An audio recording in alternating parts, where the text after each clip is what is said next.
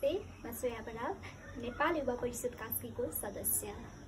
युवा नै परिवर्तनका संवाहक हुन् भन्ने मूल नाराका साथ नेपालको सातवटै प्रदेशमा काम गर्दै आइरहेको नेपाल युवा परिषद एक गैर सरकारी गैर नाफामूलक र गैर राजनीतिक विशुद्ध संस्था हो र यसको स्थापना दुई हजार उनसत्तरी सालमा भएको हो। नेपाल युवा परिषदको मुख्यत छवटा कार्यगत क्षेत्रहरू रहेका छन्।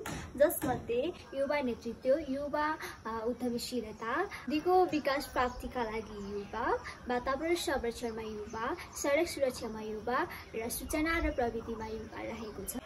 यदि हजुरहरू पनि नेपाल युवा परिषदसँग जोडिएर युवा क्षेत्रमा काम गर्न चाहनुहुन्छ भने हाम्रो फेसबुक पेज नेपाल युवा परिषदमा गएर फलो गर्न सक्नुहुनेछ। त्यस्तै गरी हाम्रो official website W W W dot national youth council dot ओआरजीमा गएर अन्य सूचना तथा जानकारीहरू पनि लिन सक्नुहुनेछ।